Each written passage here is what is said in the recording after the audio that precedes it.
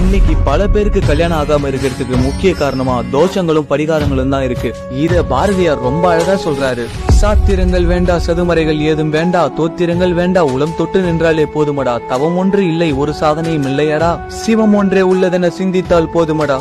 பூசை பூசை என்றுமே பூசை செய்யும் பேதைகால் பூசையுள்ள தண்ணிலே பூசை கொண்ட தெவ்விடம். நீங்க என்ன குளம் கோத்திரம் சாதனை தவம் கோயில் கோயில போய் பூஜனை எதுவுமே பண்ண வேண்டாம். அந்த கடவுள் உங்களோட தான் இருக்காருன்னு நினைச்சாலே போதுங்க. எல்லாம் நல்லதுதான் நடக்கும். இததான் திருமூலரும் சொல்றாரு. மனமது செம்மையானால் மந்திரம் ஜபிக்க வேண்டாம். உங்க மனசு தெளிவா இருந்தா எந்த பரிகாரமும் பூஜையும் தேவையில்லைன்னு சொல்றாரு. ஆனா பதினெட்டு சித்திரங்களில் ஒருத்தரான சிவவாக்கியர் கடவுள் பேரை சொல்லி மக்களை ஏமாத்திட்டு இருக்கும் போலி துறவிகளையும் ஜோசியர்களையும் கடுமையா கண்டிக்கிறாரு. நித்தியம் வயிறு வளர்க்க நீதி ஞானம் பேசியே பக்தியாய் பணம் பறிக்கும் முக்கிய முக்கியின்றி பலனருகில் மூழ்குவார்னு எச்சரிக்கிறாரு. ஜோசியம் பார்த்தோம் அதுல தோஷம் இருக்குன்னு சொல்லிட்டாங்கன்னா பயப்படாதீங்க. ஏன்னா ஜோதிடத்தில் மகா ஜோதி சிவனது உன்னோடு இருக்கையில் நவகிரகமும் மனுகிரகமாய் மாறும். இதுக்கு அப்புறமும் ஜோசியம் தோஷம் பரிகாரம்லாம் உண்மைன்னு நம்புனீங்கன்னா உங்களுக்காக சுவாமி விவேகானந்தர் ஒன்னு சொல்றாரு. மனதில் அறிவில் சஞ்சலம் ஏற்படும் போது ஜோதிடம் போன்றவை மேல் ஒரு ஈர்ப்பு ஏற்படும். அப்படி ஏற்பட்டால் உடனடியாக ஒரு நல்ல மருத்துவரை அணுக வேண்டும். உங்களுக்கு தேவை நல்ல உணவும் ஓய்வும்னு சொல்றாரு.